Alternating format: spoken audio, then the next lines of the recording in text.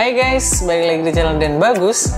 Buat kamu yang baru nonton di channel ini, jangan lupa klik tombol subscribe-nya karena kita mau bahas banyak gitar di channel ini ya.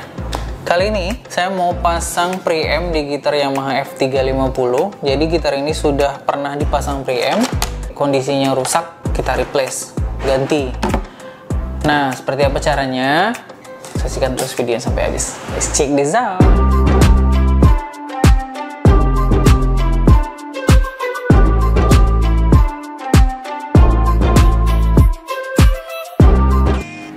Dari saya pribadi, kalau kamu mau ganti preamp gitar, kamu harus ganti dengan jenis yang sama atau uh, seri yang sama. Pokoknya harus persis dengan yang sebelumnya. Jangan sampai kamu ganti nanti jatuhnya malah kekecilan karena lubangnya sudah ada. Ini kan lubang sudah ada nih. Nih. Udah bolong, kemudian atas juga sudah bolong. Ait. Uh. Jadi kalau kamu pilih preamp yang lebih kecil, otomatis uh, tidak sesuai dengan gitarnya, dengan lubang yang sudah ada. Jadi kemarin saya beli di marketplace dari China, dari AliExpress.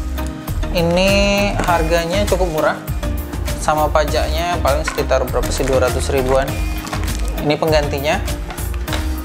Mereknya beda, jenisnya beda, jadi saya harus cari yang lebih besar daripada sebelumnya. Ini sebelumnya adalah uh, Ibanez SST. Sayangnya nggak berfungsi, padahal ini termasuk preamp yang mahal, yang lumayan banyak dicari. Sudah susah sekarang ya. Tapi ya kondisinya rusak dari pertama dibeli ya. Waktu itu saya sudah sempat klaim ke penjualnya, tapi kata mereka jadi udah diantar ke, udah dikirim ke ke rumah saya tes tidak berfungsi. Akhirnya kirim lagi ke tokonya. Balik lagi saya bayar sendiri ong ongkos kirimnya. Kata mereka berfungsi. Ya sudahlah. Mungkin ya ya sudah rezeki mereka. Kalau dengan begitu cara mereka mendapatkan uang ya sudahlah. Apa boleh buat? Nah kali ini kita akan pasangkan preamp SV T750 ini tidak ada mereknya sih sebenarnya. Saya juga bingung ini. Oh, ini ada mereknya di belakang nih. Kyle Kyle G. Kyle G. Ya, itulah. Preampnya sama, yang di bawah juga dia lubangnya baterainya kotak, ada uh, ada low Z bass apa sih namanya ini? Uh, aduh lupa. Ya itulah nanti saya tulis. Terus ada yang jack biasa, lalu ada yang kaki tiga. Uh, Sebelumnya kita seperti biasa ritualnya adalah membongkar gitar ini dan membersihkannya dengan minyak goreng. ya, saksikan aja videonya ini saya play aja terus itu sampai habis baterai. Kayaknya banyak kerjaannya nih. Ini baru saya siapin semua. Uh, ada tang, ada obeng, ada saw cutter. Uh, saya nggak pakai bor lagi nanti untuk memperbesar lubangnya saya pakai cutter aja. Mudah-mudahan nggak rusak ya. Dijepit aja pakai kapo. Oh iya, saya juga siapin ini uh, saddle nut yang baru. Ini harganya kalau di toko paling berapa sih? 5.000 atau 10.000. Nih, saddle nut. Karena yang ini pasti udah nggak bagus lagi ya. Daripada ambil resiko.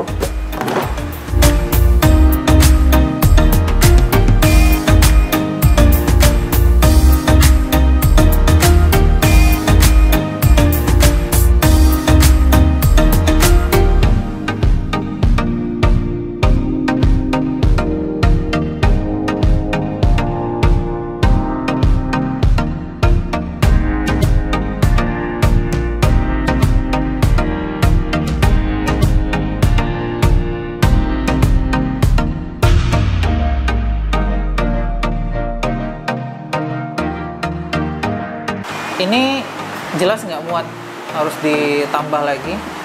Kira-kira beberapa senti jangan lupa diukur jangan asal gas saja. Kayaknya ini yang perlu ditambah bagian depan karena ini udah mulai melengkung. Ya sepertinya bagian depan. Jadi saya itu perlu membuka uh, sebenarnya saya pengen buka ini, buka bagian belakangnya supaya bisa menjadikan template di sini untuk digambar ulang, ya. Ini ada baut di sini ya. Ada baut dua biji di sini sama di sini jadi ini yang dibongkar saya mau ambil bagian ininya aja bagian plat belakangnya aja untuk bikin template atau bikin gambar posisi yang akan digergaji ulang.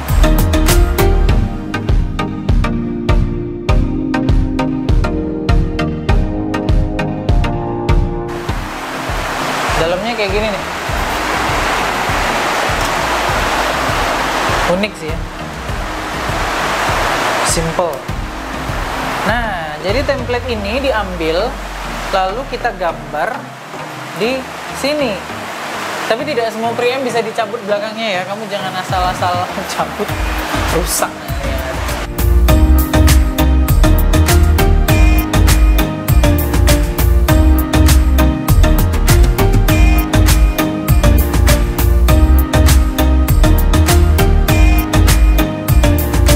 Akhirnya sudah masuk. Ini preamp sudah muat. Yang tadi ini sudah masuk yang belakang juga ini jadi tinggal dipasang baut aja. Dan selebihnya hampir sama caranya seperti yang sebelumnya. Tinggal dipasang ini piezo. Nih piezonya tinggal dipasang seperti biasa. Ini tinggal masuk piezonya aja lalu dicolok ke preamp dan selesai. Ya sepertinya gitu aja kok nggak ribet. Kalau mau yang lebih detailnya ada di video nanti di atas. Eh sebelah sini ya? Oh ya di sini nanti ada videonya. Udah pernah juga saya bikin seperti itu. Cara-caranya bersama yang penting tipsnya kalau kamu mau uh, replace atau mengganti preamp yang sudah pernah dipasang itu alternatifnya hanya ada satu. Kamu harus cari lebih besar daripada preamp sebelumnya modelnya ya. Kamu bisa lihat kok biasanya kalau di marketplace itu kamu akan baca bagian detailsnya. Di situ ada bagian-bagian ukuran lebarnya berapa panjangnya berapa. Jadi kamu sesuaikan dengan lubang yang sudah ada di gitar sebelumnya. Jangan sampai kekecilan karena nanti jadi mubazir nggak akan kepake. Kemudian bagian belakangnya juga pastikan dia pakai baterai uh, Phantom atau ini. Jack biasa HZ atau hanya colokan satu aja? Kalau fishman kan biasanya hanya satu biji aja. Oke saya rasa itu aja. Jika ada pertanyaan yang lain bisa kamu tuliskan di kolom komentar. Ya, jangan lupa klik tombol subscribe nya jangan lupa share juga. Sampai ketemu di video selanjutnya. Bye bye